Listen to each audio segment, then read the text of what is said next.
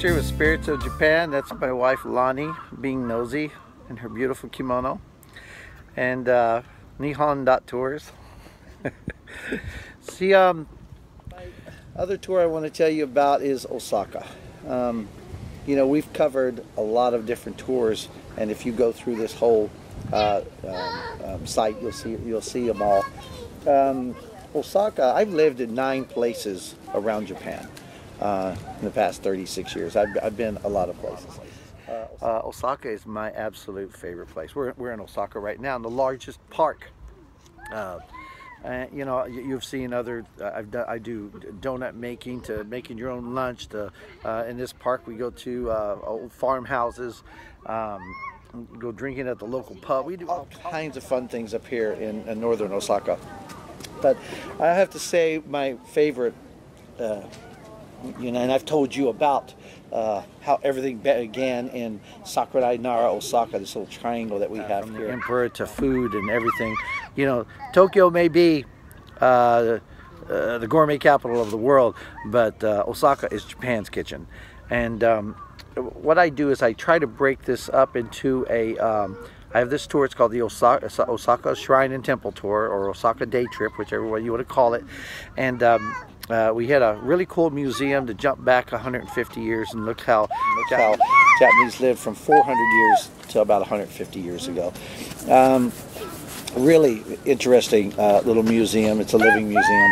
Then we head uh, to the longest uh, shopping arcade in Japan. It's 2.8 kilometers long. We're not going to traverse the whole thing. We don't have time, but go through it. Maybe uh, see what a pachinko looks like. Uh, get some food down there uh, out of a local little little hole in the wall and then we're going to head over to Osaka Castle and because it is a replica of the 269 castles that there were about 100 foundations remain some of them are replicas like Osaka Castle uh, Hiroshima and uh, Nagoya uh, there's only 12 original castles left and I have a tour for that too by the way it's 13 days, but uh, I digress. Um, we don't go into Osaka Castle itself. Um, it was rebuilt um, again in 1931 and uh, and uh, what what what what is really cool about this particular castle it's kind of a blending of of the two unifiers of Japan who had built a castle in the same spot. Um, the moats everything is fantastic. We got to go check those out look at the stonework uh, talk the history because uh, there was something there that before Osaka Castle was there. And uh, it's a shrine and after we uh, uh, traverse, the, the castle grounds, we're going to head to that shrine. Possibly it's the third oldest in all of Japan. It's called Ikutama Shrine, and uh, we're going to go there. Um, it's uh, dedicated to the goddess Ikutama, which her which her husband was uh, the uh, the overseer of this land before the first emperor um, came in, and we're going to go there. I'm going to tell you the whole story about it being moved and all that. We'll go through all that. There's a whole story behind it and then we're going to pop over to uh, the uh, the oldest um, temple in Japan. And both these, this just so happens they're, they're in Osaka. And uh, we're going to go inside the building. I'm going to tell you the whole, as a 36-year Lotus Sutra Buddhist. Buddhist. I've been through this story a thousand times and uh, we're going to talk about uh, the Buddha Shakyamuni, the historical Buddha, not the little dudes that, that are that are bigger and chubbier. Um, and we're going to talk about them too. But we'll go but down. We'll go down to uh, to this uh, temple. We'll traverse its grounds, go in the building, uh, get the whole history, talk story about some backstories, and uh, hit a couple of little places in there that are that are uh, important to, to stop at.